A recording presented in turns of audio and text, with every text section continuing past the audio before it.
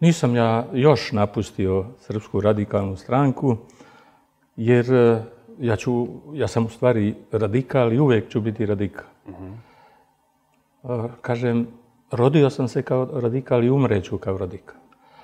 Ali to nema veze sa ovom srpskom radikalnom strankom na, na čijem se čelu nalazi e, Vojislav Šešelj. Jer ja više puta sam razmišljao, za seba sam siguran da sam radikal. Jer kada sam ulazio u stranku, pričali smo o tome kakav radikal treba da bude.